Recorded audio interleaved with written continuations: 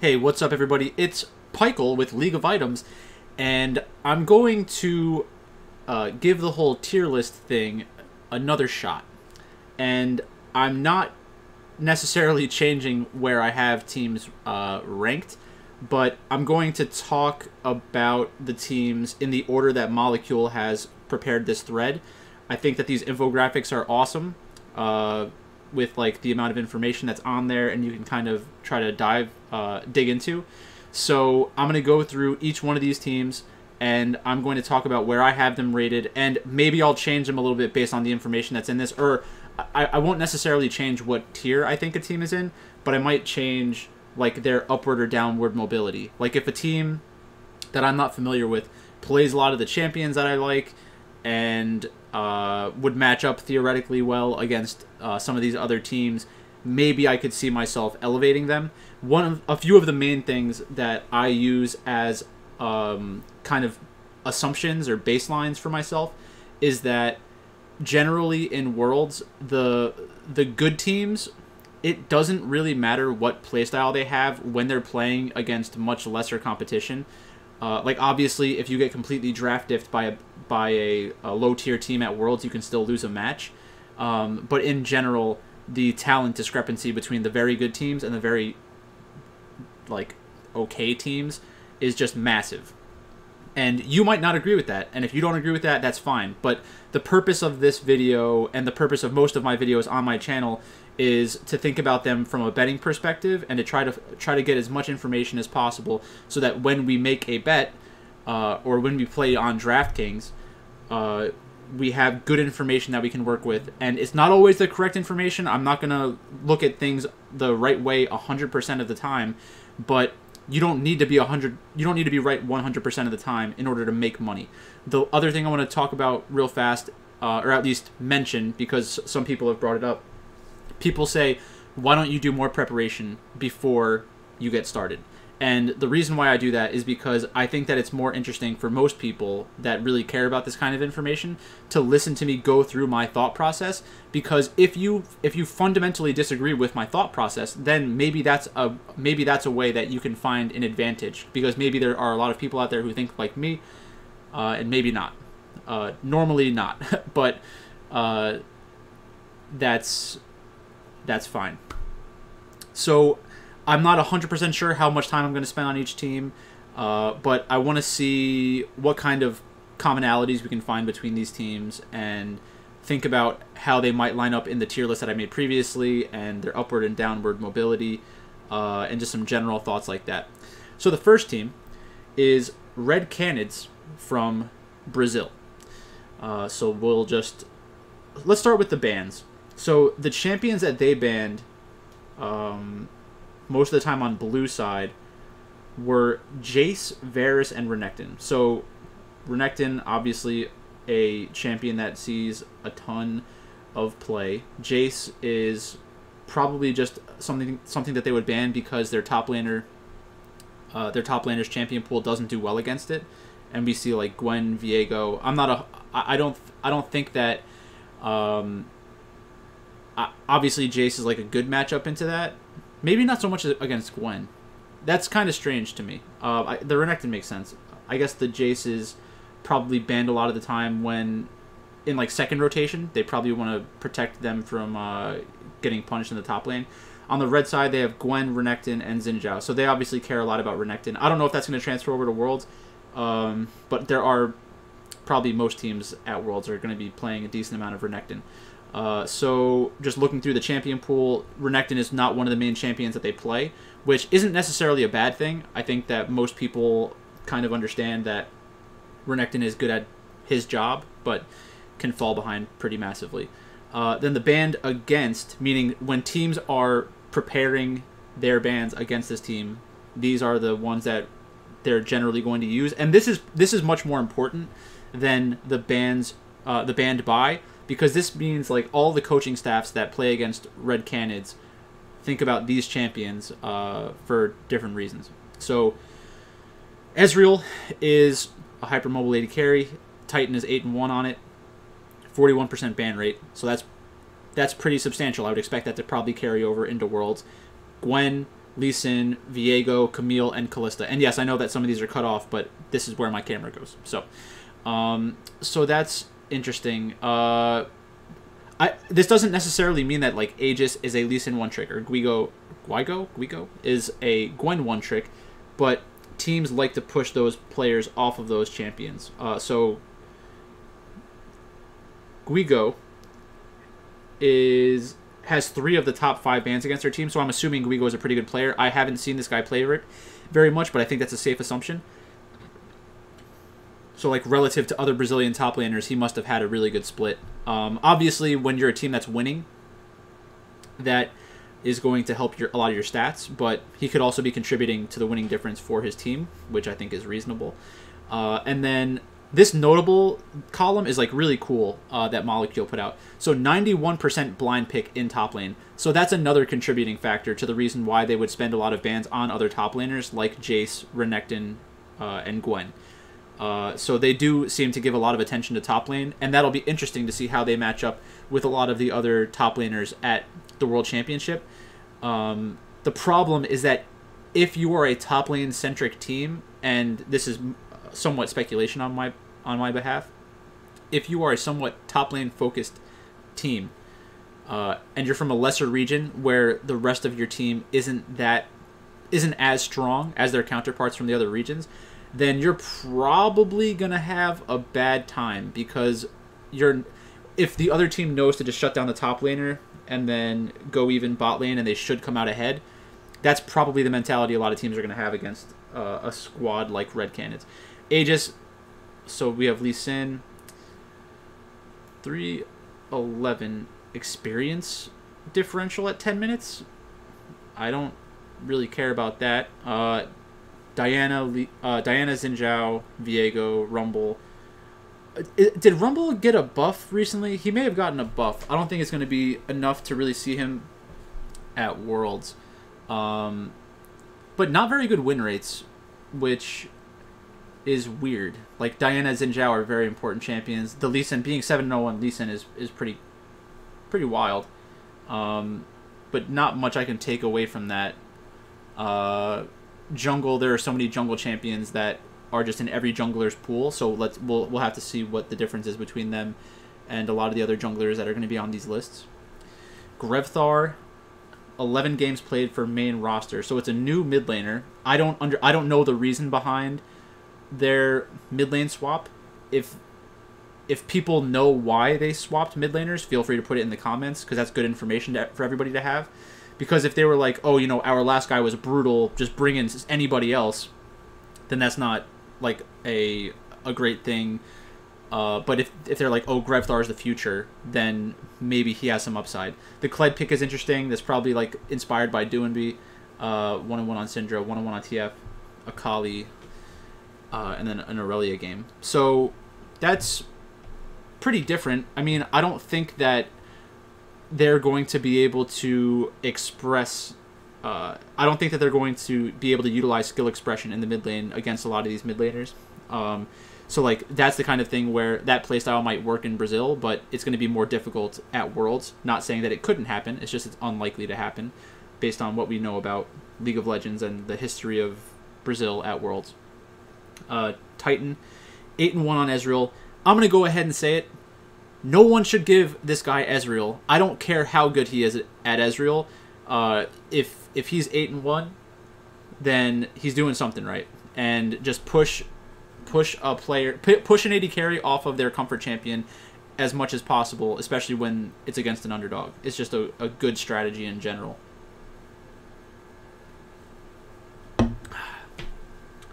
Nine nine point five CS per minute. I don't really care about that. A lot of that's dictated by the the game.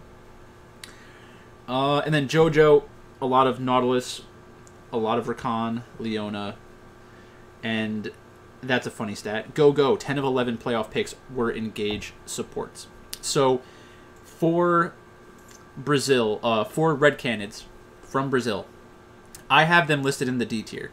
So the the thing with being in the D tier is that I don't know a lot about most of the teams in that tier, and maybe they can compete with one another, but it's going to be pretty difficult to pick red canids against anybody like two tiers away from them. So just ask yourself this question: Do you think that Red Canids, based on what you know about Red Canids, could beat 100 Thieves, Mad Lions, Rogue, or Hanwha Life? Now, some of you probably will say, yeah, 100 Thieves. I think Brazil has a, ch- a shot against 100 Thieves. Um, 100 Thieves is one of the teams that I I like relative. I like them relative to how other people see them. So that's one spot where people might be zagging or zigging, and I would be zagging. Uh, so that's it for the first one. Let's go to the next team. Unicorns of Love. So, Unicorns of Love were fun to watch at the last Worlds Championship. Boss Ahahacik. I, I think it's Ananasik, but like his name is so much better if it's Ahahasik. Ahaha sick. Like sick bro sick.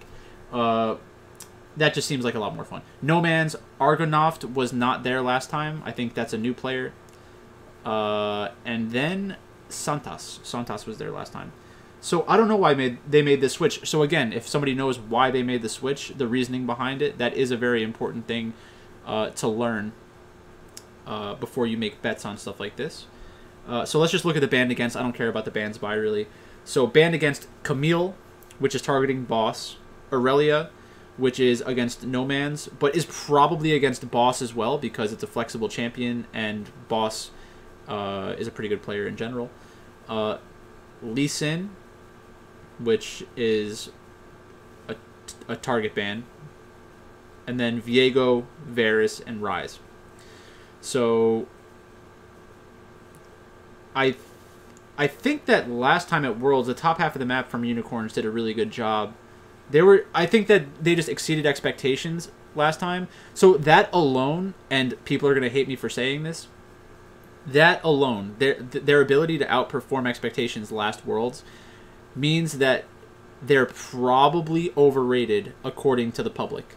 That doesn't necessarily mean that the sports books are going to like make their lines go insane because there's probably not a high enough volume of money being bet on the unicorns of love uh, in a lot of the Western sports books to justify manipulating the lines in an attempt to influence the bets that people are making.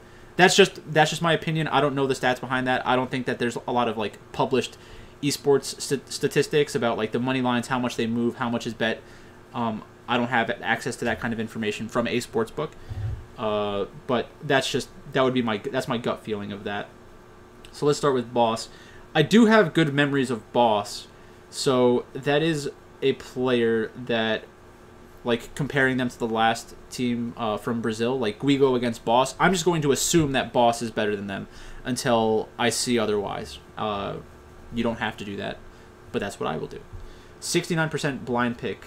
Uh, so blind picking blind picking is a big indication of how the team is like willing to play the game uh, and their their confidence in their top laner. So I don't really mind that. Uh,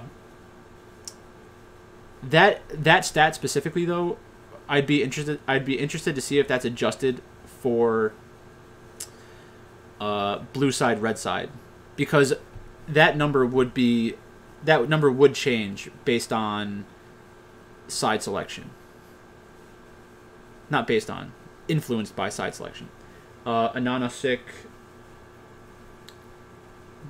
they were negative in gold and XP in summer for jungle. Okay, so that is very bad. I think it's obvious why that's bad uh, in and of itself. But even more important than that is that when uh, Ahaha Sick is going up against better junglers, that differential is going to cause big tempo disadvantages for Unicorns of Love. It's going to be more difficult for them to contest neutral objectives, and it makes it more likely that they are responding to plays instead of being proactive. So that scares me that would be something I would try to like find a way to utilize that in a betting way. So like if if this stat and my read on it is correct, then early dragons, early towers, first blood are probably going to be good bets uh, for the team playing against unicorns of love, assuming that they're roughly the same talent level. Uh, so that's something to watch out for. Nothing that special in the in the champion pool. The fact that they play Trundle's good, uh, and that's pretty interesting uh, because I, I do think the meta that we're going into is going to be a late game meta. Some people are talking about the like assassins are going to be very good at worlds, but if you get if you see a bunch of teams playing assassins, that kind of just incentivizes uh, the other teams to play uh, like hyper carries even more because if you have just enough peel and just enough healing, just enough resilience in your team composition, then the assassins aren't going to be able to do enough damage consistently in team fights to kill off the important targets. Uh, and then the team with the the hyper carries is just going to overwhelm the other team. Uh, so I'm not really uh, as afraid. And then Rek'Sai, three games of Rek'Sai, that's pretty cool as well. Um, maybe the other reason why they have bad experience in gold differential numbers is because they're very gank heavy. So maybe it's just more volatility. I'd have to do more research on that to, to know. So if if you are someone who knows Unicorns of Love very well and you share that with me in the comments, that would be pretty helpful. Like if you know that they're hyper aggressive in the early game, they create a lot of snowballs for their solo laners at the expense of their jungler. Like that is good information to have. Uh, Nomanz, I, I think Nomanz played pretty well as pretty well at last year's Worlds two. Uh, so the fact that they played Diana Yasuo is good because that's a good combination that you can draft pretty consistently, uh, as long as the other teams don't think it's like their bread and butter. Um, Aurelia is a is a strong champion, is pretty matchup dependent, but I don't think teams will bandit against them as much. So we'll see if that actually creates an advantage for Unicorns of Love. Like all it's going to take is one game of Nomanz playing well on Aurelia at Worlds to, to kind of bring back the justification for banning it against them. But there are a lot of strong mid like hyper carry esque champions that Nomanz plays. So Ryze and Kassadin, those are both very good champions uh, for late game scaling. The Kassadin is a little bit scary, but I think that like Nomanz playing Kassadin against a, a, a lesser team, like if there are lesser teams, um, if there are teams that they like significantly out uh, like out talent, um, then that could be a nice like red side last pick to pull out every once in a while. So that's something to watch out for. Argonaut, I'm assuming his name is Argonaut. Uh, everybody plays Varus, no big deal. Uh, Tristana, Ashe, bad win rates there. Zero games played in summer in playoffs. So again, I don't know what is the deal with this guy. I don't know how it's going to impact their team. They do play some Ziggs. I'm not a huge Ziggs bot fan, so we'll see how that goes at Worlds. Uh, and then Santas, 1.52 wards per minute. That's nice, but that's not game changing. So a lot of engage supports as well. Galio, Nautilus, Rakan, Alistar, Tahm Kench. Uh, I don't, I don't, I'm, a, I'm going to assume that's not Tahm Kench since the rework, but who knows? Uh, so Unicorns of Love, they are another team that is in the D tier. I think that most people uh, would want to say that Unicorns of Love has upward mobility and can beat a lot of the teams in the tiers above them. Like when you get Unicorns of Love against Team Liquid, C9, Fnatic, PSG, 100 Thieves, Mad Lions, Rogue, Hanwha Life, I think a lot of people will want to use Unicorns of Love. Whether or not that's a good idea, that's that's a different story. I think it's probably not a good idea because I, I don't really expect them to play as well as they did last year. But we'll see what the uh, the money lines look like and what the ownership's per, ownership uh, rostership percentages look like on DraftKings.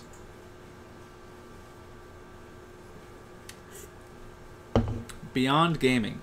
So Beyond Gaming is another team um, from the PCS.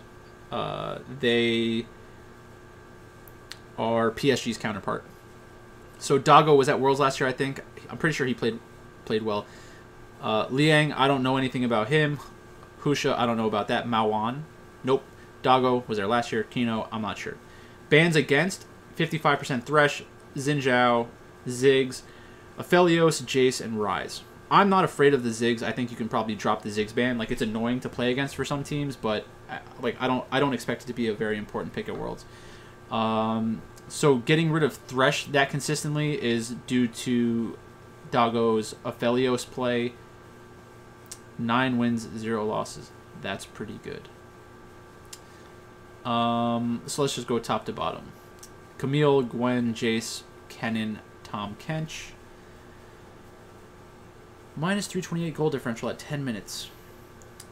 Last in playoffs for top. That makes me feel like they have to absorb a lot of pressure and teams attack Liang.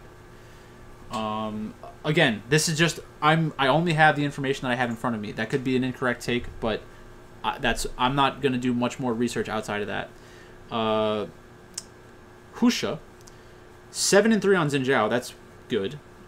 Viego six and three. Viego is going to be a very important champion at Worlds because the teams that can play it will always have that like insane play upside, the insane playmaking upside, which is super important, especially if if you're a team uh, that's like not expected to do well. If you can have one player just go playing completely out of their mind on a mechanically intense champion, um, then that that gives you a chance to pull off some pretty interesting upsets. Uh, because ultimately, like if you are drafting really strong champions, like you can outplay the other team for for a game. Is it going to happen in a in a full series? Less likely, but you get that one game that could be nice. Uh, 73% kill participation. So uh, just that alone makes me think that Husha is like the most important player for Beyond Gaming outside of Doggo. It's it's like it's funny because Husha might be a carry jungler that their job is to get is to control the early game to let Doggo get to the point where they can carry team fights. Like, uh, so you're not introducing volatility into Doggo's like realm, into Doggo's realm in the bot lane, but it buys them time basically. So that's something to watch out for. Maoan Ryze. A lot of Ryze, a lot of Sylas, a lot of Orianna. So this is that something that can happen here is that Maoan could potentially get uh, picked on by other teams. If you ban away a couple of these champions and force them onto something like Orianna, then you do open up the possibility of the other team playing an assassin into Orianna. It's a high it's a high volatility thing to do, but a lot of these teams that think they're better than Beyond Gaming would not have any issue making a, a draft decision like that. Doggo, Doggo played well last year at Worlds, so there's nothing really to say about him. He is someone who can actually play hyper carries. Uh, that's going to get taken away. So I, I think that that's that's one way that we could probably look at it is if the other teams know that Husha, if the other teams think that Husha and Doggo are the two most important players on the team, then they're going to attack specific team compositions that are going to allow Doggo to hide until the, the mid and late game. So I would expect Aphelios to be banned all the time, unless they think that they can ban away Thresh, and then Beyond Game Gaming wouldn't pick Aphelios, but that's probably wrong. Uh, that would be a good stat to. That would be like a, a different kind of stat to look up. How often does uh, Beyond Gaming play Aphelios when Thresh is banned? Uh, it obviously happens because they have four wins with Thresh and nine with Aphelios. So, uh, Beyond Gaming is another D team. I think that Beyond Gaming probably can do okay. I think that there's no reason to think that they couldn't play as well as PSG at Worlds. Uh, now, people who watch the PCS all the time, maybe they can explain why there's some kind of huge uh, difference between the two teams. Um, I, I wouldn't be shocked if like PSG I wouldn't be shocked if PSG is much better, and I wouldn't be shocked if they're equals. Uh, the fact that PSG played really well at Worlds is so it's the same thing as Unicorns of Love, where we see them for the second time. People expect them to play well. Uh, you know, is that likely to happen?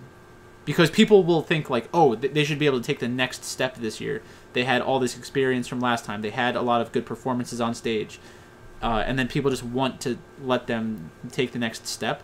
But taking the next step is kind of just more like narrative driven. It's not it's not founded in reality. The foundation is not in reality. Uh, because a lot of the other teams are that are here were also at Worlds last year Uh, so if both teams get a little bit more experience, then you just have to default back to the other things that you use to evaluate different teams.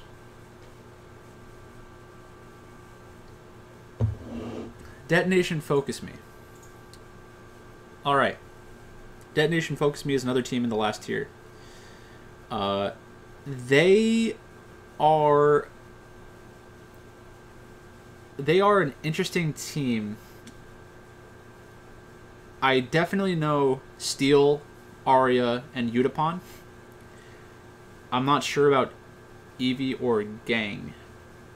So banned against LeBlanc, Aurelia, Akali. So from what I remember, Aria is supposedly like an insanely gifted uh, mechanical player and is the focal point of their team, which would make me think that they're going to play a lot of utility AD carries in the bot lane uh, at Worlds because they don't necessarily need bot lane to carry. They want to put Aria into a spot where they can carry the game. The fact that this guy plays four games of Shaco, uh, that's completely insane. I would love to see that happen at Worlds, just to be different. Uh, it looks like their top laner is somebody that they generally generally try to hide because they played Gnar, Renekton, Sett, Tahm Kench. That is more. That's that's not really a good sign. Uh, it's just going to invite a lot of pressure from other top laners. So, so that's that's a prime example of like red canids, um, unicorns of love.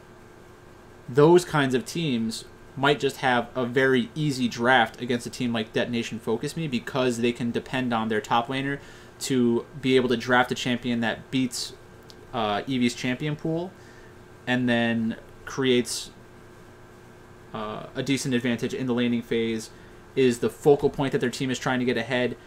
Maybe focus that tower first make some plays around uh, rift herald to try to keep all the pressure on the top half of the map that that seems like it would be a pretty straightforward playstyle for a lot of these teams. Um, four Nidalee games four Shaco games that's pretty insane.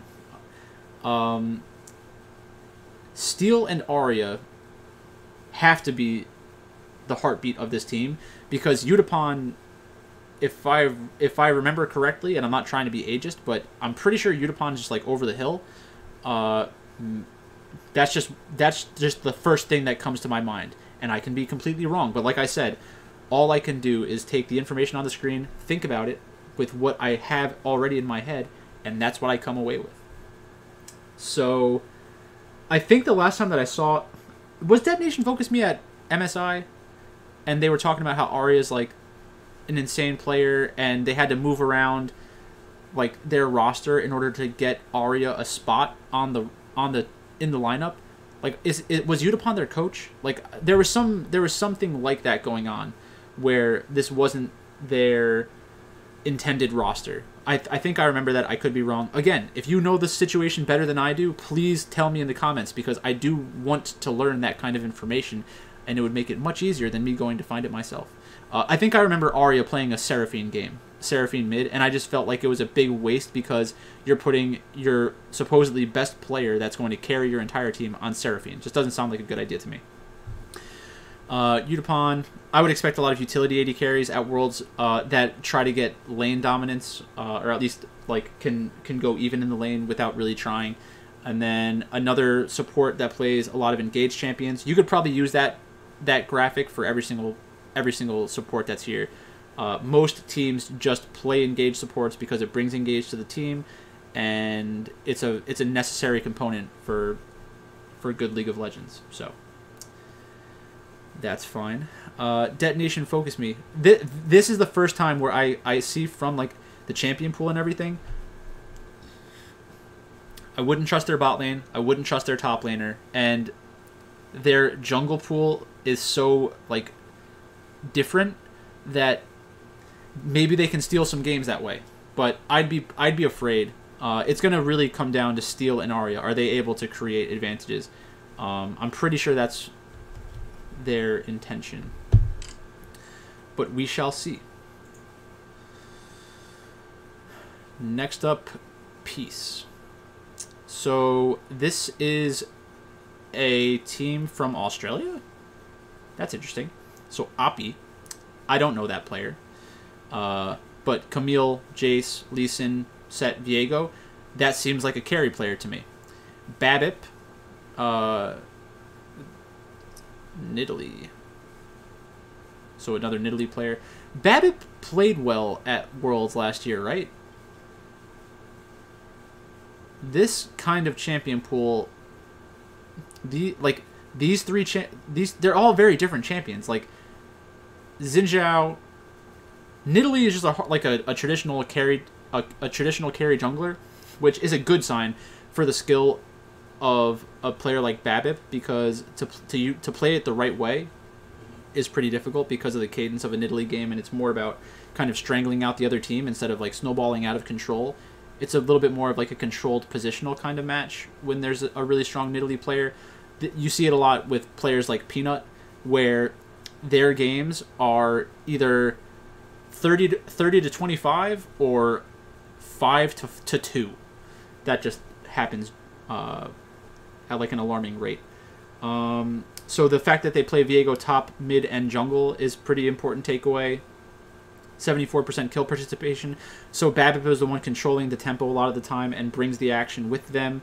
Tally, I think Tally was there last time um, for TF games. Personally, I think that when teams have TF as one of their main champions, it's generally a bad sign in my opinion, uh, unless you're like Damwon Gaming, because it's so difficult to utilize TF the right way, and it kind of caps out your damage uh, from mid lane, which would be bad in the hyper carry tank meta that I kind I just I genuinely think that's where we're going. Violet, six and two on Kai'Sa, six and one on Ezreal. That's pretty good. I've never heard of this player before, um, so just you know take that with a grain of salt. Uh, Aladoric team had lots of roster swaps in summer. I don't know what to say about that. Uh, I don't expect much from this team at Worlds. Maybe they maybe they surprise some people, but I will not be betting on them. Uh, 50%, Rene- 49% Renekton ban rate. Viego gets banned out a lot, which is smart because it's a good flex pick.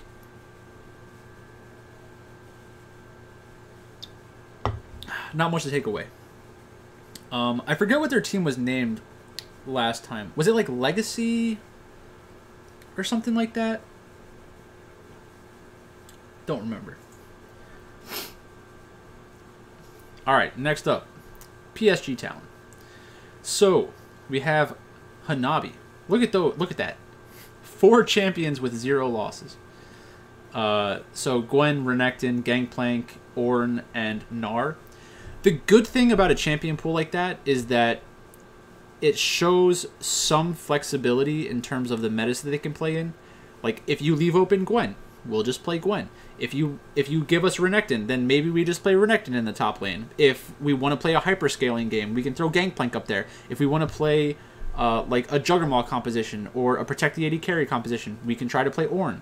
Uh, if we want a blind pick that helps a little bit with engage and doesn't cap out our damage profile as badly or damage ceiling as badly, throw in a Gnar. That's just pretty interesting. Hanabi is the kind of player that every time I think about them, I have no idea how good I think they are. Like, was Hanabi in China at one point? Am I just am I just making that up? River River's definitely a good player. Seven and three on Lee Sin, seven and one on Diana. They have the Diana Yasuo com- combination, which is very good. Uh, seven and zero on Xin Zhao. So teams are going to have a lot of difficult decisions to make against a team like PSG uh, in terms of what kind of uh, team compositions they want to take away from them. We have another Aphelios player, uh, Maple. I, I don't think Maple is as good as they used to be, or I don't think that Maple is at they're not as um, the talent differential between Maple and a lot of the other mid laners at Worlds is not going to be as noticeable as it was in the past. That's how I would want to say that. Um, a, a ton of experience, the kind of player that you can trust to to like put their team into good situations throughout the game. Uh, they've kind of seen it all, which I don't think that it makes them more likely to win, but I think it does make it more likely that their games are close uh, against quality competition. Unified and Kaiwing. So I guess Unified is the one that didn't make it to Worlds last year for like uh, visa issues or COVID reasons, and Doggo had to come in. I'm pretty sure that's true, and I don't think Maple was there either. Uh, I think they had two or three players from a different organization. Um, but having a lot of Aphelios games is very important because it shows that the team is willing to play around them. Uh, you can't really say enough about something like that. There are a lot of teams at Worlds that, that are like that because domestically they are probably more talented than the other teams in their region. So they can pull off stuff like playing Aphelios. But if if they don't realize that it's more difficult to play Aphelios when you're the not as good team, then it can kind of be a problem where they're just playing what they what they know, which is there's nothing wrong with doing that. It's just it's it doesn't have the same oomph when the other team is more skilled. Uh, Five Trundle support games. That's very interesting. I would love to see Trundle Senna at Worlds. That would be fun for me. And four Bard games. It's pretty cool. My nose is getting stuffy. I think guess my allergies are acting up. Uh, PSG, I have PSG in the tier above all of the teams that I've discussed so far. Um, so that's that. Next up, 100 Thieves. Uh, and 100 Thieves is a team that I think a lot of people just, you know, have a different take on how good they are compared to myself. Um, banned against. honestly, I don't think that you can really put much weight into the banned against because a lot of the teams in the LCS are just horrible. Uh, and they are trying to keep FBI from playing Kalista when I don't know if that's really going to do much. Like, most 100 Thieves is just strictly better than six or seven of the teams from the LCS, so they can kind of play whatever they want.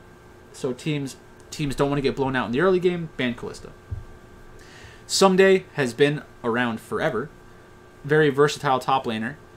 Uh, I don't I don't I don't know how good Ssumday is going to be on the international stage compared to a lot of these other top laners. I would assume that Ssumday is at least average for Worlds, uh, and I'd be willing to bet accordingly. Uh, closer, closer is a very interesting jungler. I love that the team plays around them a lot, but I think it's weird how they give priority to closer's champion pool over Abbedagge's champion pool a lot of the time. I think that will probably change at Worlds. I think if we get into a late game, a late game meta, that could be a good thing for 100 Thieves. Like Abbedagge, when they made the miracle run on Schalke, it was a lot of hyperscaling champions uh, in the mid lane that helped do that, including Kassadin. Um, and also that would allow Ssumday to play hyperscaling, a, a, either a hyperscaling champion or a tank that would do well against uh, assassins if other teams are playing a lot of assassins. Um, Abbedagge, I think he's a, I think he is a good mid laner. I think he's overrated at this point, but they function well within 100 Thieves, so that is, that is a, a relatively important uh, note. And then FBI, I think FBI is a, a little overrated as well, but just the te- the team play does play really well with one another. I think that they they understand the game uh, at a very high level for a North American team, and I think that's going to help them be consistent against bad teams and then have surprisingly good performances. Maybe not victories, but like su- surprisingly good performances against a lot of the other regions. The one thing I'm concerned with about 100 Thieves for DraftKings specifically is that I don't think they're going to like completely go for it where they're playing um, like very volatile team compositions and willing to willing to take on action in the early game. I think they'll probably be a little bit slower at Worlds. Um, Just something to keep in mind. Uh, and then Huhi, a lot of engaged champions. Huhi has some has some very good games, which is fun to watch. Um, I I am somewhat uh, I am somewhat hopeful that 100 Thieves can put together a really good performance. Out of the te- out of all the teams from North America, I, th- I do think they are the most likely to perform well, um, because of of like their play style and how well they've done this split. Um, I do think C9 is more talented overall, but I, I, I'm fine with having 100 Thieves higher than them. I think it is more likely that they put together a good performance. All right, C9, one of my favorite teams to watch from North America. Very frustrating season, um, but that's the that's the best time to stick with a team. Uh, so they the most banned champions against Cloud9 are LeBlanc, Xin Zhao, Gwen, Thresh, Kalista, Aurelia. Fudge is a good top laner. Fudge has the upside of being a great top laner for North America.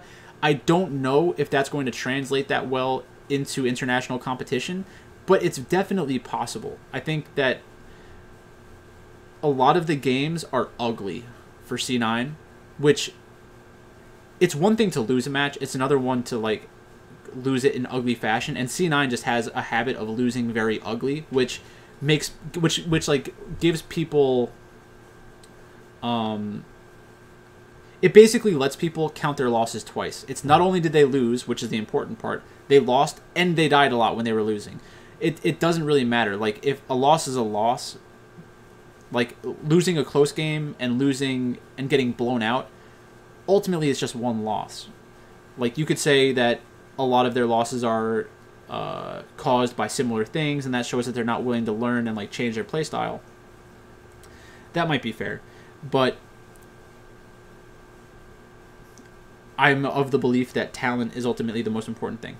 So, Fudge, I think, at their peak is probably going to be a slightly above average top laner at Worlds, but more likely to be an average top laner. And when I say average, I mean someone that's not going to create the winning difference in neutral situations for their team consistently. Like they can do it in a game, but can you do it in can you do it consistently in a best of 5 against a world-class top laner? Much less likely. Blabber. Blabber has had a down year. Uh, a lot of uh, unluckiness uh, for Blabber, but I, I still think that Blabber is, you know, probably going to end up being the best North American jungler for the next couple of years.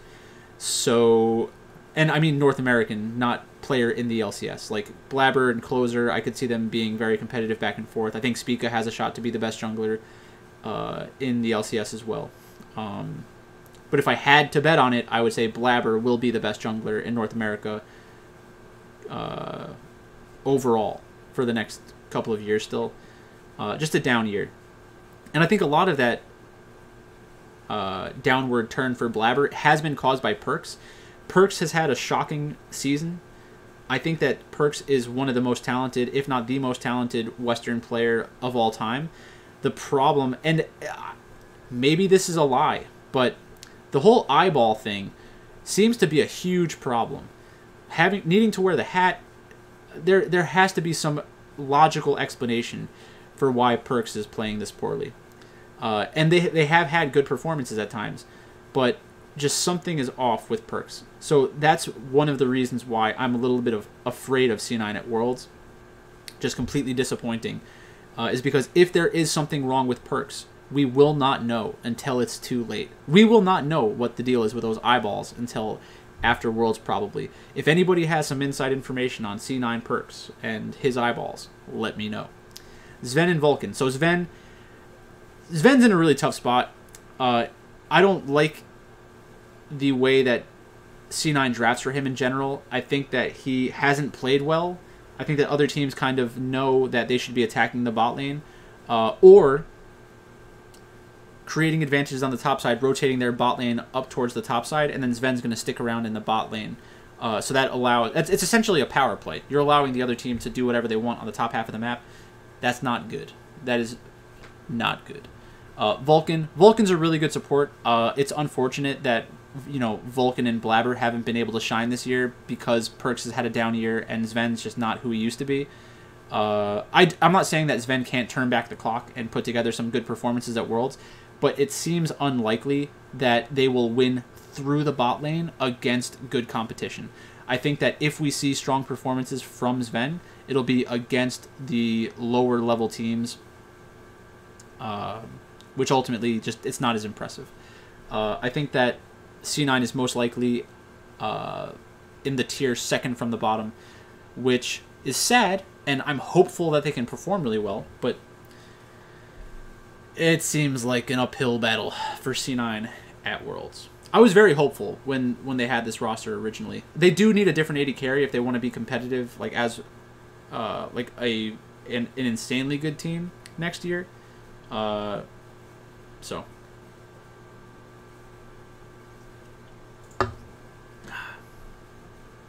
Next up, Infinity. Buggax, Solid Snake, Cody, White Lotus, Ackerman. So I definitely know Ackerman's name. I know he's a Thresh God. I don't know if a I don't know if a team from uh, Latin America or LLA I, that's Latin America, right?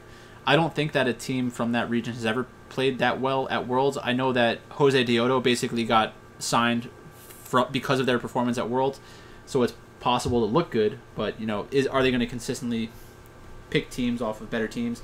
I don't think so. So I expect them to be in the bottom tier. Gnar, 0 and 3 on Camille, that's a bad sign. Flex Lee Sin, Flex Akali, those are pretty good. Solid Snake, Lee Sin, Volibear. If you play Volibear at Worlds, and it's and if you play Volibear at Worlds and your team is not a hyper carry team, then you're griefing. 3 0 Rumble. Don't really expect to see a lot of Rumble at Worlds. It'd be cool if we do.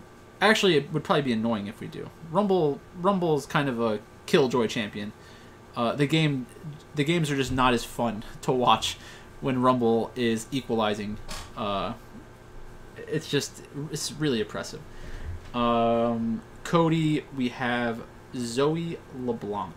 Zoe's a really tough champion to play when you're not as good as the enemy mid laner, but if you can pull it off, it can complete it like it's the kind of champion that can completely turn a game on its head because of the playstyle the enemy team is required to play. Gnar. A lot of Gnar bans, so I guess Buggax likes using Gnar as a safety blanket. Uh, LeBlanc. A lot of teams are banning LeBlanc. Um, that's interesting. Zoe. So Cody gets a lot of their bans. Lee Sin, Thresh, which is not surprising because of Ackerman, and Trundle. Um, White Lotus, 5 and 0 on Kai'Sa, 0 and 3 on Ashe. I could see I could see it happening.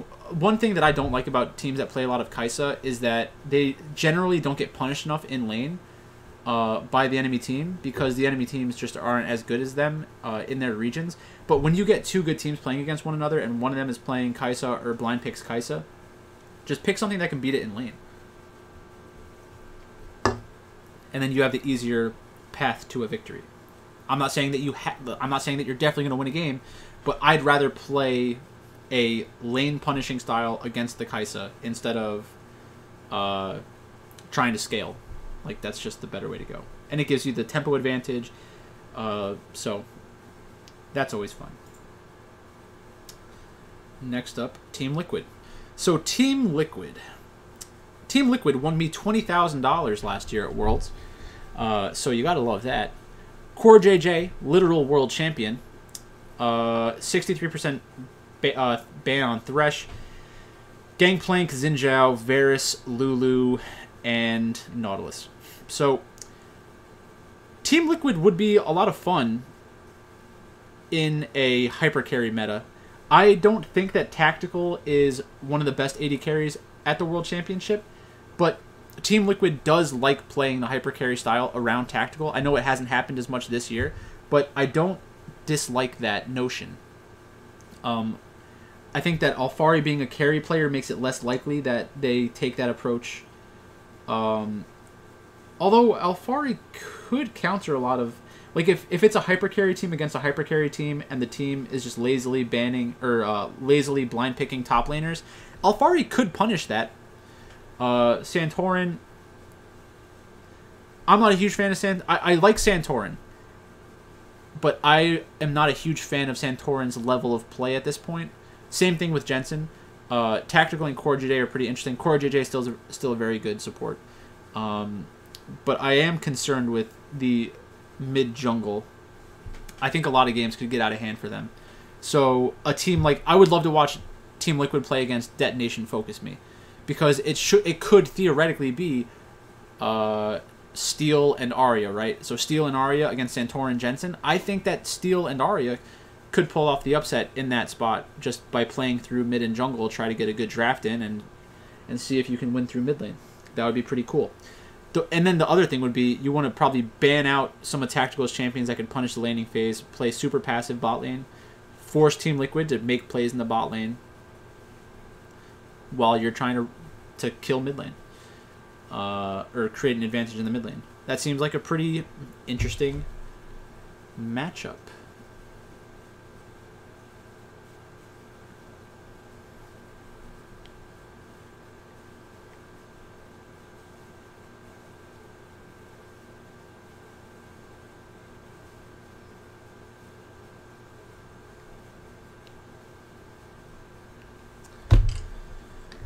Um. Okay.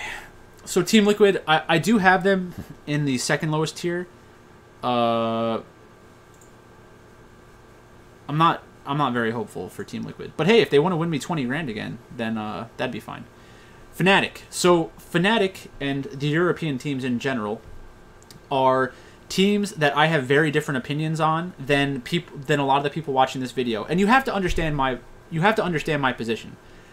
I'm looking at this from a sports betting perspective. So when everyone, when almost everyone who watches these these videos are fans of the LEC and the LCS, and they hear me talking badly about the LEC and the LCS, obviously there's going to be a lot of negative reactions, a lot of negative comments, a lot of disliking the video. But you need to understand that I'm not do I'm not saying this stuff because I want you to be upset. I'm saying this stuff because I think that your opinion of your teams that you like is too high. Um, not only is it too high, it's it's high enough to influence the sports books because the sports books know that these are the most popular teams. So these are the teams that they have to prepare themselves to take a lot of money on at Worlds. And that's just the the game of betting. So I'm almost forced in the, into that position because it is generally a good idea to bet against the most popular teams when you get to a world championship because the sports books will want the less popular teams to win because the less popular teams will have less money bet on them, meaning that if the less popular team wins, then they get to keep all the money that was bet on the popular team. It's very simple. I'm not trying to be patronizing, but I know a lot of the people who are probably watching this don't honestly just don't know that. They just don't know about sports betting. They don't know why the lines are set the way they are. They don't know what the sport the lines even mean. Um, and again, I'm not trying to be mean about it. It's just if you don't know, then you don't know, which is fine. So you come at me and you're all upset about me having LEC teams ranked low, which I can't do anything about that because I'm not going to change my mind to satisfy people. I, I would rather you scream at me in the comments and dislike my video than lie to you. I would I, that's I, I would really just prefer that. So let's do that. Um, so let's talk about the players. Adam has had a good performance throughout the split. I think the Darius performance from playoffs was super cool because that's one of the things that we knew about Adam from EU Masters was that he is a player who is willing to play off the wall champions in good matchups and then have the team play around them and can shoulder that load. That is an impressive thing.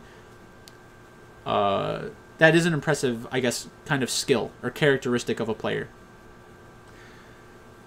Um, Renekton is one of their best champions. Uh, Darius is one of their best champions.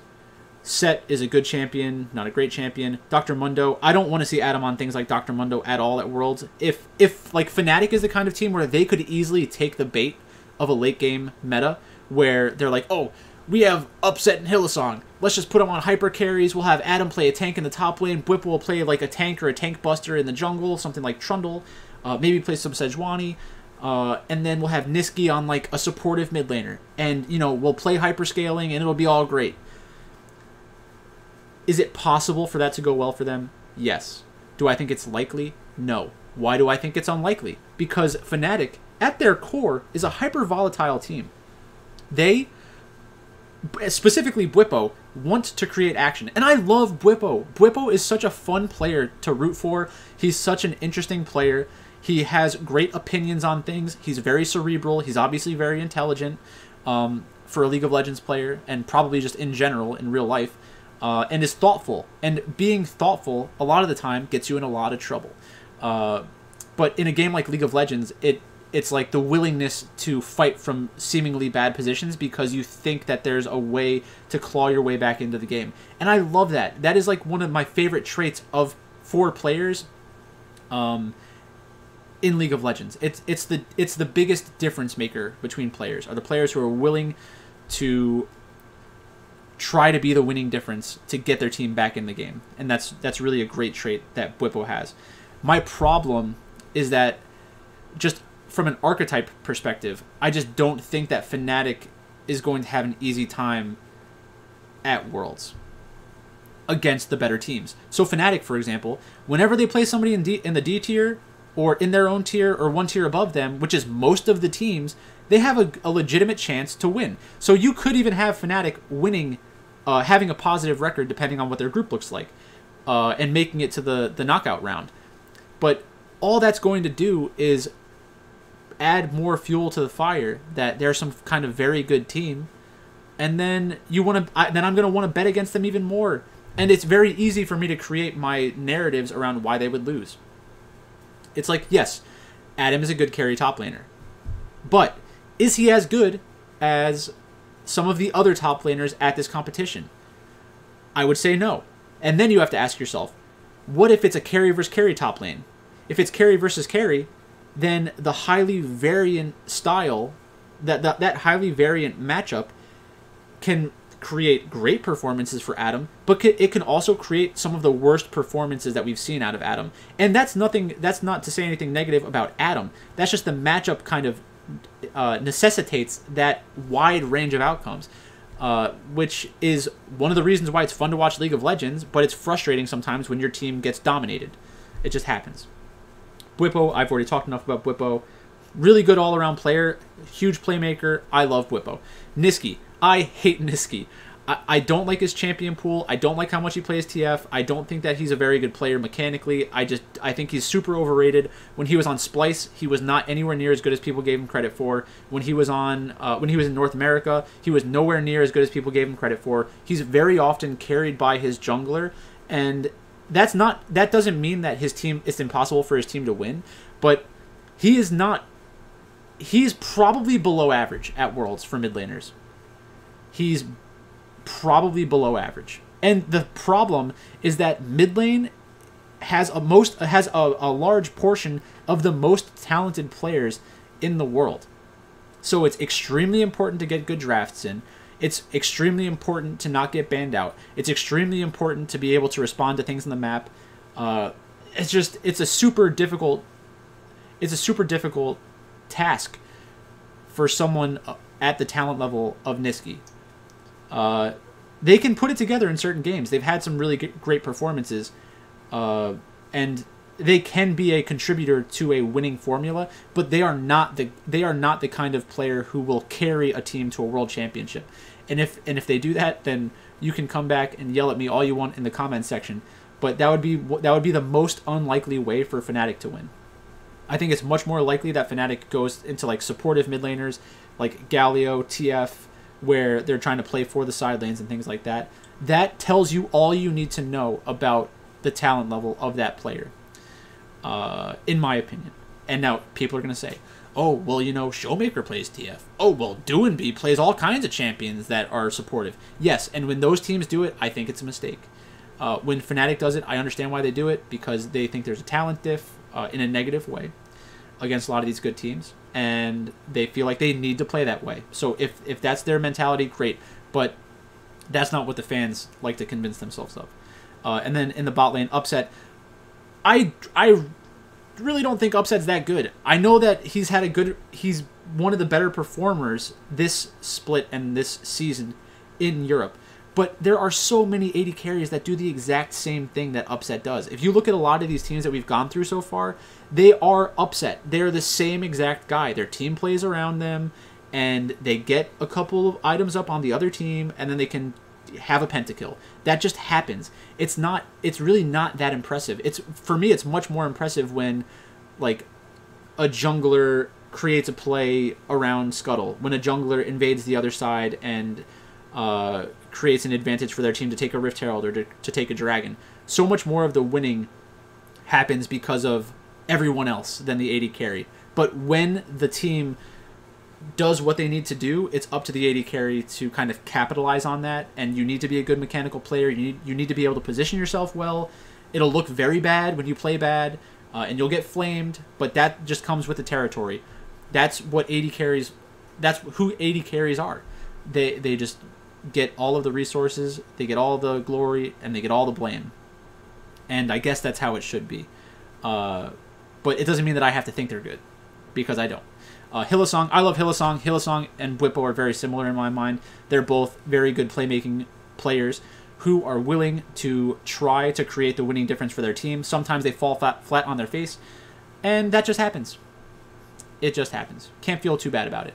You just got to make the plays that you think will help your team win. That's literally that's all you can do. It's all you can do. So Fnatic. That's Fnatic. Next up, we have Rogue. No, we don't. We have Galatasaray. Crazy. So, Crazy seems familiar. Mojito does not seem familiar. Bolulu does not seem familiar. Alive and Zergsting. Don't really know much about these guys. Uh, so let's talk about the easy narrative that people are going to latch themselves onto. They're going to say, oh, well, you know, Turkish teams play well at Worlds. That if that's the main reason people are going to be playing uh, Galatasaray on DraftKings or like picking them to win uh, matches as underdogs or like picking them as slight favorites over other uh, like lower level teams, then you should be betting against them. I think that it's I think that is probably the right angle without knowing the matchups or anything like that. Just going into my analysis of those kind of matchups, I would assume that Galatasaray is overrated. And it's funny because it's just because of their region, but that does happen a lot. Uh, and then uh, yeah, that basically that's just the way that it is. Um, 6 and 0 on Viego, 5 and 0 on Rumble. It's funny that a lot of these teams are playing Rumble. Like I wonder how far back these stats look because that is strange to me. I would not expect that uh, to be representative of the champions that we see at Worlds.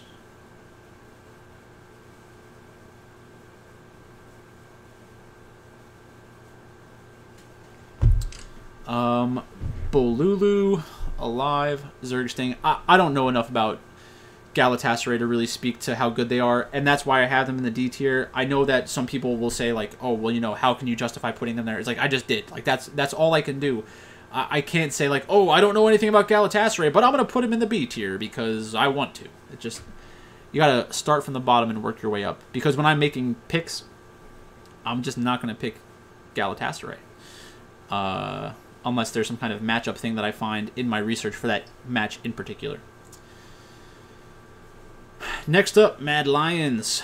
Uh, so Armut, uh, who played in the Turkish league, uh, had a good performance at Worlds last year. People will want Armut to play well at Worlds. I want Armut to play well at Worlds. I don't have any issues with Mad Lions as an organization. I have a problem with people's perception of Mad Lions. People are way too high on Mad Lions in general, um, and I know that I'll probably get flamed for that again.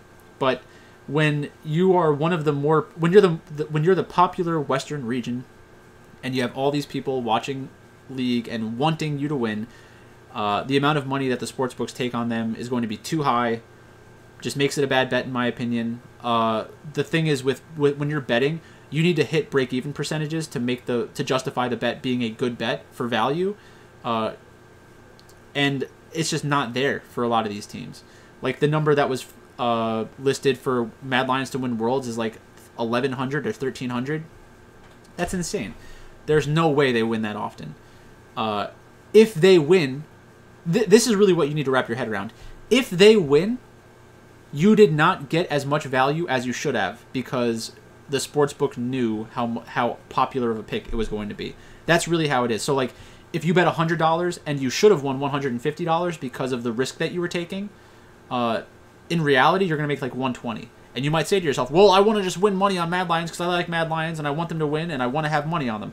Then fine. But let's not let's not fool ourselves into thinking that they deserve to be at those odds to win the championship. It's just not the case.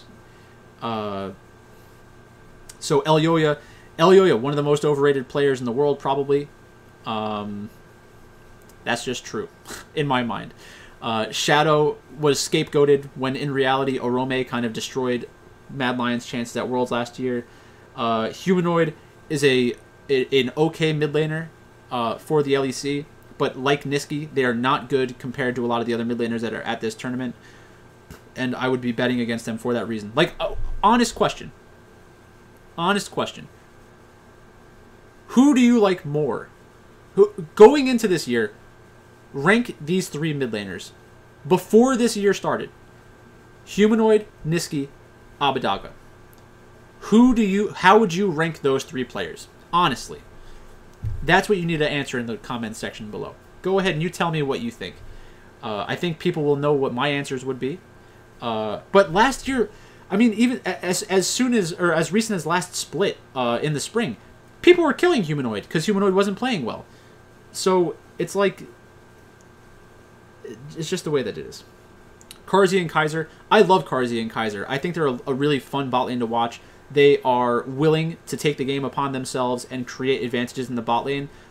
Completely love them. They they're a lot of fun to watch.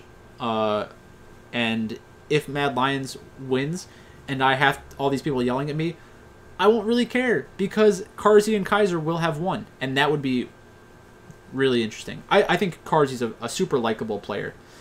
Uh, and so is Kaiser. Kaiser talks a little bit too much on the analyst desk, like and divulging like the way that they look at stuff. If I was if I was his coach, I'd be like, "Hey man, like I I appreciate that you understand our game plan and that you can communicate it well, but let's not communicate it in front of everybody. Let's uh let's just talk about that amongst ourselves." Um but it is funny like a lot of his interviews just completely get derailed and he gives a, he just gives away so much information. Um, but Mad Lions. So with Mad Lions, I think that Mad Lions is in the B tier. So I have them behind a lot of the Korean and Chinese teams, uh, just because I think it's it's much more likely that relative to expectations, um, they're just a little bit lower in terms of value. Um. I wonder how they would do in a hyper carry meta. I, I, my gut says bad. I think that it'd be very bad for Mad Lions. And then last but not least, Rogue. So with Rogue, I I'd still believe in Rogue. I I genuinely think that Rogue it has more long term talent than Mad Lions and Fnatic. And people might want to kill me for that.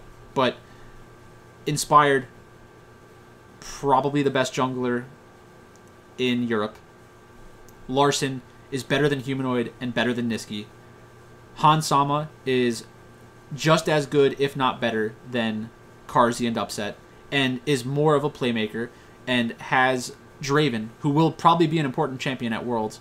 Uh, and Hans Sama, Hans Sama has played extremely well at Worlds uh, for Misfits when when they made that run at Worlds with Power of Evil. So there are a lot of good things that Rogue has done in the past that are just kind of being swept under the rug. Odoamne has he had a pretty rough playoffs. I don't expect it to stay that bad, but I also don't expect Odoamne to be like a difference maker in the top lane. So it's really going to come down to like can they put Odoamne in in matchups that go even and the rest of the team finds a way to win. And I think it's possible but it's going to be very difficult to do at Worlds against the elite competition. Like when people are looking at like teams and thinking about how they might do against uh like what their record's going to look like at Worlds, I don't care if you go f- 5 and 1 or 4 and 2. Uh if you go 50-50 against the good teams or 0% win rate against the good teams, that's the only thing that I care about. If you go around beating teams from lesser regions or teams from your own region or teams from North America, it doesn't do anything for me. You need to be able to compete with the teams from China and the teams from Korea if you want a realistic chance at, at winning worlds. And that's just the truth. Like, it's obvious, I think, to most people who are actually wagering a decent chunk of money that Chinese teams are just better than European teams. Um, and again, I know that's not going to be a popular opinion because a lot of people watching this are huge fans of the LEC. And I'm not saying that you can't like your team. It's just don't think that your love of your team justifies unrealistic opinions about their chances to win and then expecting people who are focused purely on like winning bets and getting value out of bets to also like your team. That's just not how it works.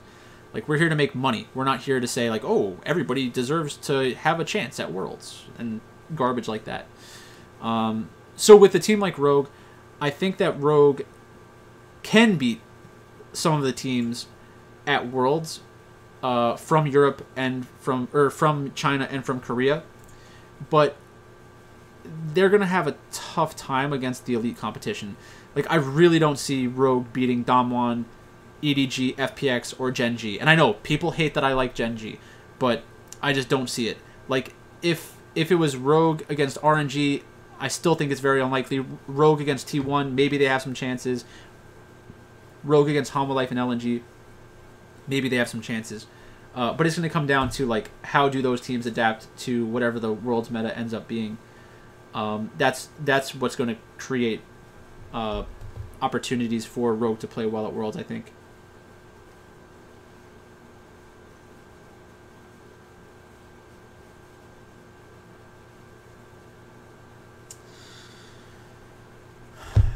Um. Okay. So let's keep going. Damwon. So Damwon, the world champs. They don't have Nuguri, now they have Khan. Uh, I don't think it's that big of a deal. Uh, Khan plays a lot of the champions you need to, and he has top lane diff against most top laners at this championship. Going into Worlds last year and the year before, people were saying he's the best top laner in the world. One or two years passes, now he's garbage to a lot of people. It's just crazy how much people's opinions change, in, in my opinion. Uh, Ziggs is banned a lot. Renekton's banned a lot. Lucian's banned a lot. Jayce, Viego, Tahm Kench. So, Khan can play carry top laners. He's an all around top laner. He can play carries, he can play tanks, he can go 50 50. He can do it all. He's a great top laner. Canyon, probably the best jungler in the world, is able to play a hyper aggressive style and create advantages in the jungle against basically anyone. That is why they are that. They, that's why they are the best player in the best jungler in the world. Uh, with that being said, their their champion pool is going to be somewhat narrow in terms of only playing carry champions. Like if if we get to Worlds and it's a, a tank jungle kind of situation where all these teams are playing just boring jungle champions, uh, I would hope that Damwon does not just like fall in line and do the same thing. I hope that Damwon thinks of themselves as a team that can play whatever they want and force their playstyle on the enemy team they do kind of turtle up a little bit and play less aggressive in a lot of matchups, which is not that fun for me. But they're just a very good, uh, a very good team, obviously. So, Showmaker, eight and one on LeBlanc, seven and one on Ryze. Showmaker can kind of do it all. He's not as flexible as Doinb, but he's just a great mid laner. There's no real argument for me there my my concern with Damwon is their bot lane. I think Ghost and Beryl. Uh, I think Ghost is really the weak link. Um, at Worlds, they were able to play a lot of utility champions, and that masks a lot of the issues that AD carries have because you are not expected to you're not expected to do as much damage um, as the other carry champions or the other carry players on your team, and like your contribution to the team fight being the additional utility is impactful, but it's just not. It, you're not the focal point of the team. Um, just not a not a super mechanically gifted player, I don't think, uh, especially relative to some of the other AD carries that we have at Worlds. Beryl is a good player, not a great player. I love a lot of the champions that they play. Like I love it when when Damwon's playing like Senna Pantheon and stuff like that. That's a lot of fun to watch, and that is when they're at their best. That's when they were at their best, in my opinion. Uh, so Beryl has that ability to be a super impactful player. Um, it's just been kind of a down, a little bit of a down year. Like they went through that weird streak where they were swapping around all their players. Uh, so there's that. Um, a lot of Ziggs. I don't think Ziggs is going to be that good at Worlds. I'd be I'd be actually I don't think that Ziggs is going to be that good at Worlds. If anybody's going to pull off Ziggs and make it look good, it's going to be Damwon Gaming because that will allow them to play around the top half of the map, let Beryl kind of rotate up top and wreak havoc, while Ghost just farms in the bot lane and protects the tower. That could work. The problem is that not a lot of teams can pull that off the right way, in my opinion. Next up, Gen G. So the team that everyone hates me for, apparently. So Gen G, we have a top laner who plays a lot of flexible champions, Lee Sin, Nocturne, Viego, uh, and Renekton. Uh, has has put together some like kind of crazy performances over the past year against the other very good top laners from the LCK, which should go a long way in terms of people valuing Rascal high as a player but for some reason they just don't. And I think it's because everyone understands that Ruler is the most important player on the team. Clid, at one point, Clid was thought of as a very good jungler. People don't think of him as a very good jungler anymore, but he is a very good jungler still. Uh, it's less flashy than a lot of other players because he's not a traditional carry player. Like, he is more of the Volibear, Trundle, Diana is a carry champion, but he's more of like the Volibear. Like that's his archetype. That's who he is at his core. Um, so if we get into a hyper a hyper scaling tank meta, a hyper scaling meta with a lot of tanks, I think that Clid would be in a really good spot. They already play the Trundle, so if the other teams are just like absent-mindedly picking Sejuani or Zac or just these kinds of champions that can get exploited by Trundle, then they'd be in a really good spot. BDD, very good mid laner. People are always talking about BDD as one of the best mid laners in Korea, but then like when we start bringing European and Chinese mid laners into the fold, people want to like downgrade how good BDD is. I think that BDD is probably a top five mid laner at Worlds, which doesn't seem crazy to me. I, I don't know why that is a crazy take. Uh, plays a lot of controls, uh, a lot of control champions, but also plays the like uh, also plays Sett, which is like something that Korea uh, loves to do in general.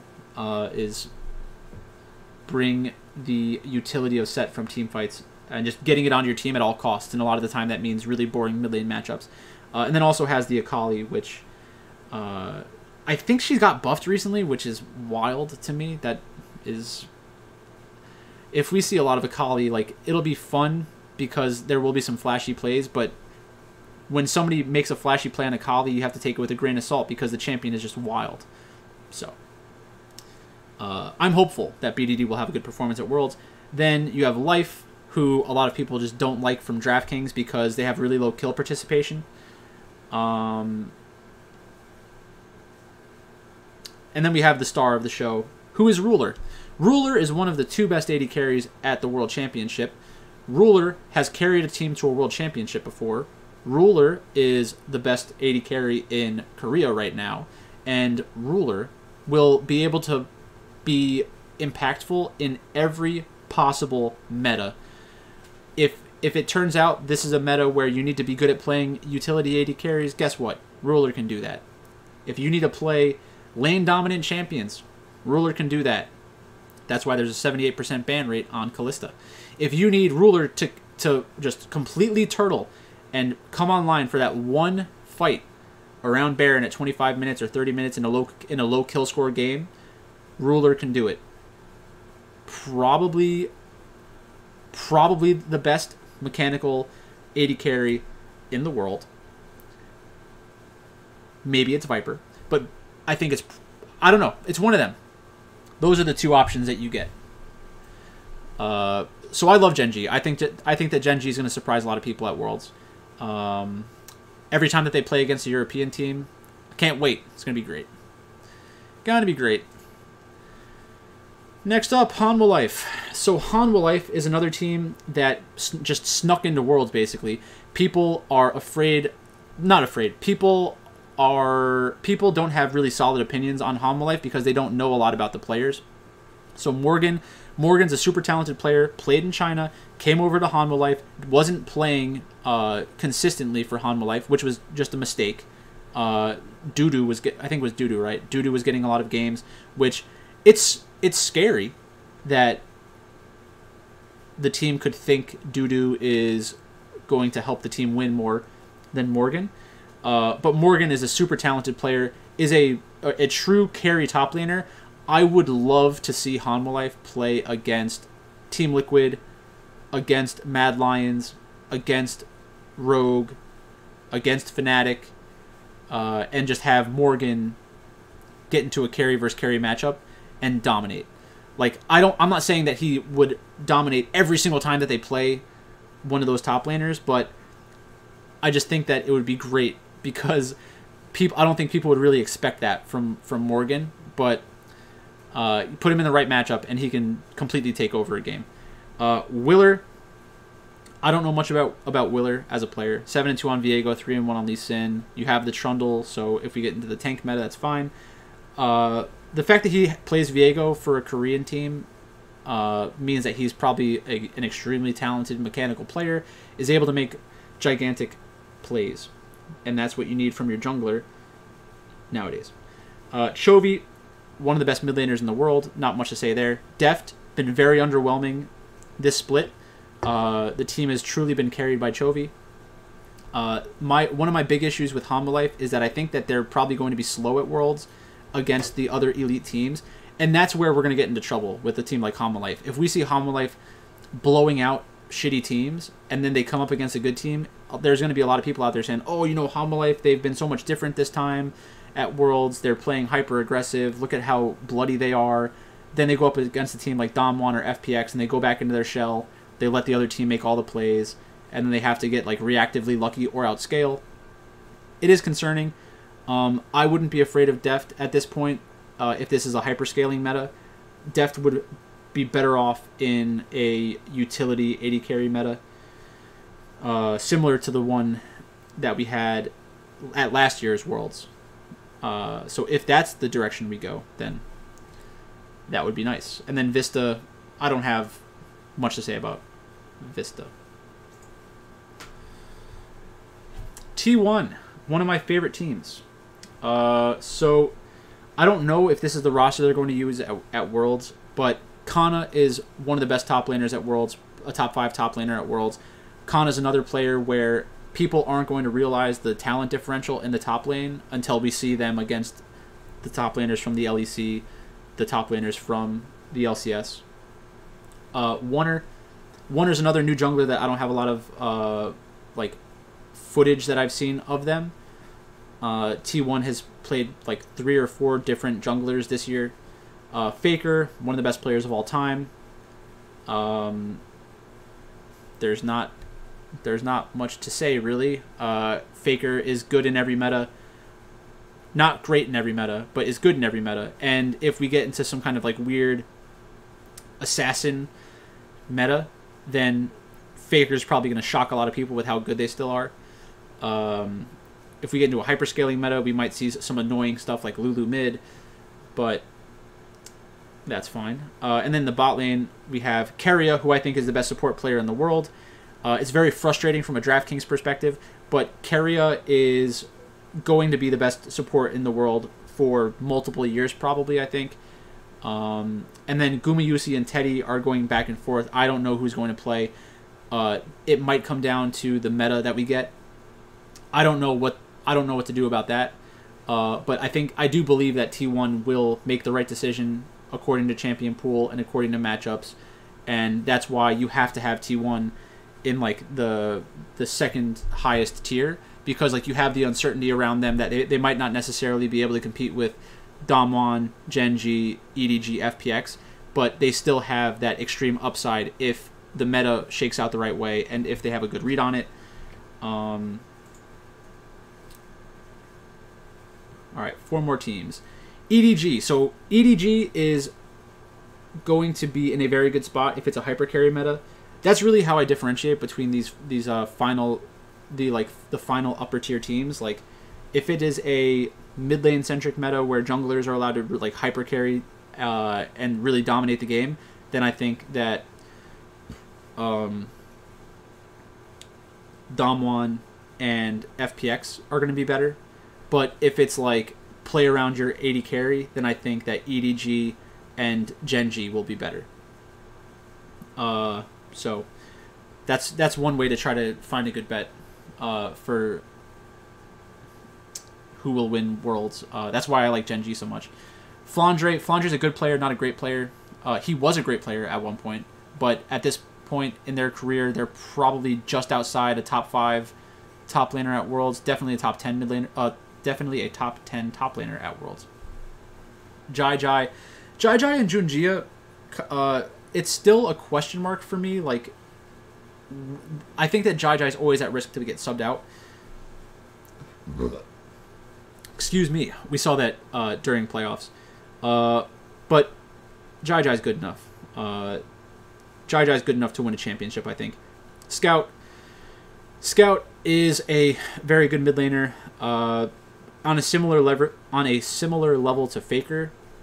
At this point, they're both probably past their prime, but they're both still very good. Uh, so I'm not concerned with Scout. Viper, one of the best AD carries in the world. I think a top 2 AD carry in the world. Meiko has been around forever. Very good support player. There's not much more to say. Like these guys can do everything. That's that's why they are, uh, you know, one of the best teams in China is because they can kind of do a little bit of everything. Like if if the jungle meta shakes out the wrong way, that would be a big problem for EDG. But if it's like a tank meta, then it's it's more difficult to have like a huge talent, uh, a, a huge skill expression difference in the jungle. So I'm not super afraid of that.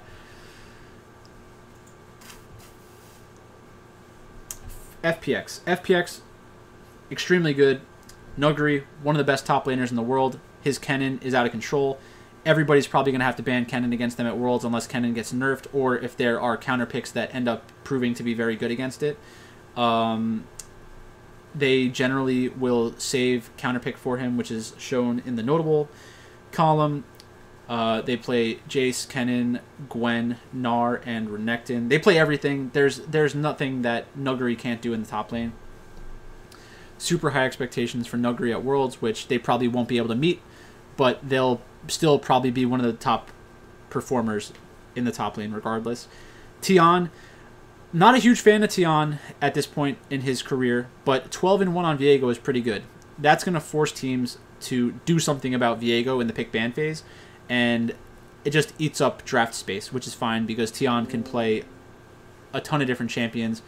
Uh, haven't seen them on Lee Sin a lot because it gets banned out a decent amount, but I think that a lot of teams at Worlds are going to leave open Lee Sin for, in in hopes that they can get it, but then Tian would be able to take it. So it's kind of a catch twenty two, and you can't ban out all of his champions. Like you can't you can't on a team that has Nuguri, Tian, and Doinb, you can't ban Viego, Lee Sin, Kennen, Gwen. You just can't ban everybody. So one of these players is going to get a champion that they're just insane on. Doinb, probably the most fun player in the world to watch. Nothing more fun than watching Doinb and his antics on stage. Uh, one of the smartest League of Legends players in terms of instincts. Well, I guess those are maybe different, uh, but a blend of both in, the best instincts in the world, probably. Great shot caller. Gotta love Doinb. Plays a little bit of everything. It, it is a little bit concerning when they draft compositions that are built around LWX, which, if it's a hyperscaling meta and LWX convinces themselves that they're uh, like one of the best AD carries in the world, I think that could be a pretty big problem for FPX if they draft that way. Uh, 10 and 3 on Aphelios. A lot of those wins are probably just coming coming against lesser competition. Um, a lot of Varus games. Varus is going to get nerfed again, so I don't think that really matters. Like the the combination of champions that you get on this kind of team are very important because if you if you draft like a utility AD carry for LWX and it's a hyper carry meta, sometimes FPX will do things like draft a supportive mid laner when their team just doesn't have enough consistent damage and then they kind of fall flat on their faces. It has happened before and I'm sure it'll happen again. Um, just hopefully not at Worlds. And then Crisp is an all around good player. Tian, Doinb, LWX, Crisp. Guess what? They've all won a world championship. That's pretty scary. LNG. Uh, I think LNG is in the second tier of teams, but I'm hopeful that they'll be able to play well uh, at the World Championship. Ale, Ale is going to surprise a lot of people. I think that he is an extremely gifted top laner. Gets a lot of Camille banned against them. Uh, plays a lot of Viego. So again, you need to probably ban Viego. You probably are going to want to ban some of these assassins if it becomes an assassin meta. You'll want to get rid of Camille um, so that you can pick a tank. Uh, you'll want to get rid of a myriad of Tarzan's champions because Tarzan might be the best jungler in the world. Uh, Lee Sin, Xin Zhao, Volibear, Diana showed Zac off in the playoffs. Uh, there is no there is no jungle champion that will come into the meta that I will think invalidates Tarzan or makes him uh, not as good. Uh, any jungle meta, and Tarzan's going to do well. Icon, Icon's had a surprisingly good year. Uh, they have kind of been unleashed after leaving their previous team. Uh, playing next to Tarzan will do that to you. So I, I don't want to overrate Icon at this point. I think that might be kind of happening right now where people say, oh, look at how good their stats are. Look at the carry performances that they've had. Uh, when in reality, a lot of that should be contributed to Tarzan. It's just that Icon's the one who kind of cashes in on it. And then Light and is it L Wandy or I Wandy? I thought it was lowercase L Wandy. Uh, whatever. Um, they're a good bot lane. I think that they'll do fine against most teams at Worlds. They have a lot of uh, they have a lot of different playstyles that they can they can utilize. And again, I I would not be surprised if LNG dominates bad teams and plays slow against good teams and tries to win like a positional game of League of Legends against uh, other strong teams. It's probably the right playstyle. It's just frustrating when you have DraftKings lineups and stuff like that. And then we have our last team, RNG. I think RNG is overrated.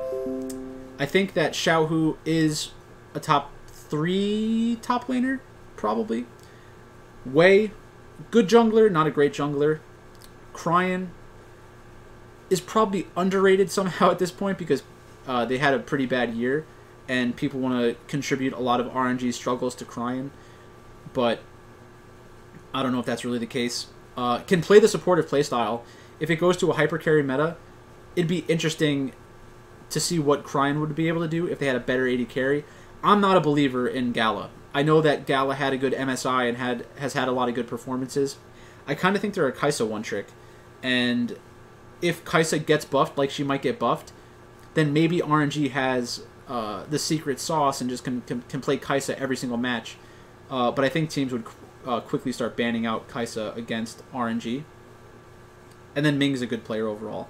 So RNG, do they have a chance to win the championship? Of course they do. In terms of value, they're already so hyped. Like FPX, EDG, Damwon Gaming, you're not going to get a good number on those teams because the sportsbook is terrified of them. They know that they're the most likely teams to win because they're super good. So if you want to win a bet, then yeah, you can put in a bet on, on one of those teams or all three of those teams.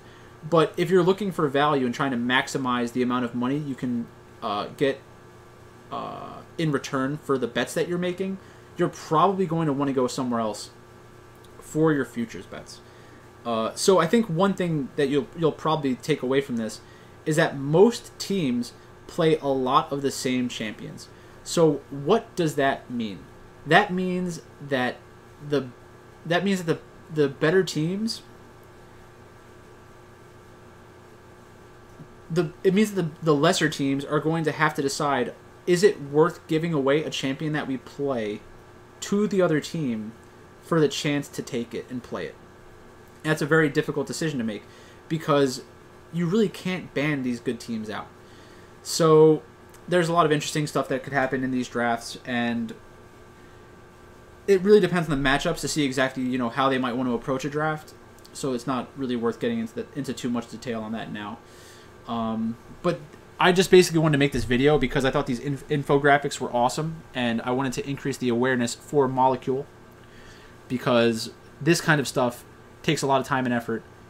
Good job, Molecule. Thanks for watching, and I'll talk to you later.